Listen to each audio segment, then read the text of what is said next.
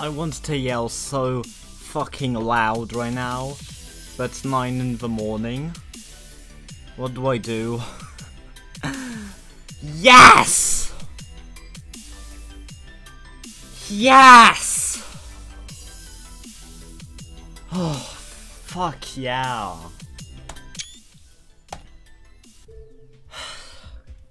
My luck with this wasn't the best, but at least I beat it soon after getting 98. Wow. Good level overall, it's just my luck kinda ruined it.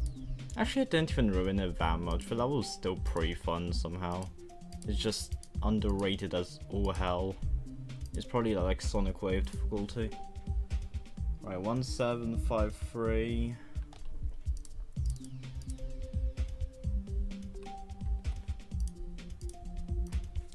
And 2712.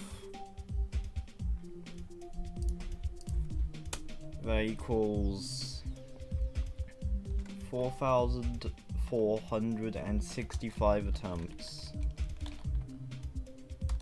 GG.